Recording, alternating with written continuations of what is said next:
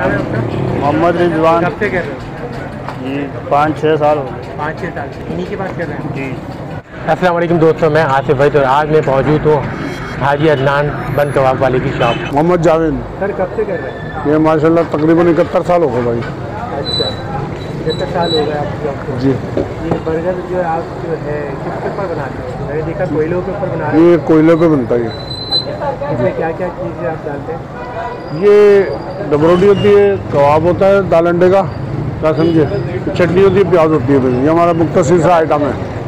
अलहमदिल्ला कब से कर रहे हैं ये इकहत्तर साल से। किससे शुरू किया था ये मेरे वालिद साहब ने हाजी अब्दुल रजाक ने। जी।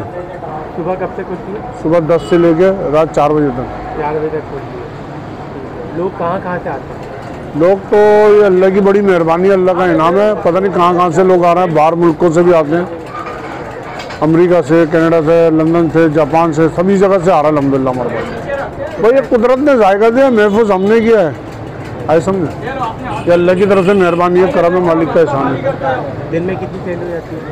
इसका कभी हमने वो नहीं गिरा अंदाज़ा नहीं। दो जॉब ये बंसोड का इलाका कहलाता है फ्रेस्को चौक। फ्रेस्को के सामने वाली गली कहलाती है बाबुल इस्लाम वाली। मस्जिद है बाबुल इस्लाम मस्जिद है ये गली है ना?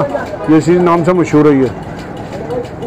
कॉन्टैक्ट नंबर है। ये हमारा ऑनलाइन ऑनलाइन है आपका? ये हमारा ऑनलाइन नहीं होता। ऑनलाइन ऑनलाइन हमारा बानी बन गया। है और पाकिस्तान में पाकिस्तान के हर कोने में जिस जिसने भी लगाया हुआ है हमारे नाम से लगाए हैं सब।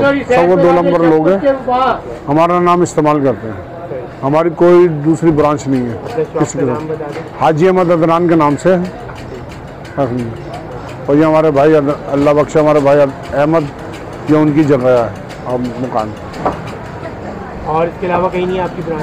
पाकिस्तान के किसी कोने पे भी नहीं है। ये कोले पे आप देख रहे हो तैयार हो रहा है माशाल्लाह। और ये आपके सामने हर किस्म के लोग आते हैं। एक बन का मेरे लिए भी बना। भाई मेरी आ गई है प्लेट तैयार होके और इन्होंने दिया है मुझे बन और कबाब। और इस कबाब के नीचे थोड़ी सी है प्याज और बराबर में दी गई है हरी चटनी। तो मैं इसको खाता हूँ चेक करता हूँ और अगली वीडियो के अंदर मिलते हैं किसी और लोकेशन पे। खुदा हाफिज़।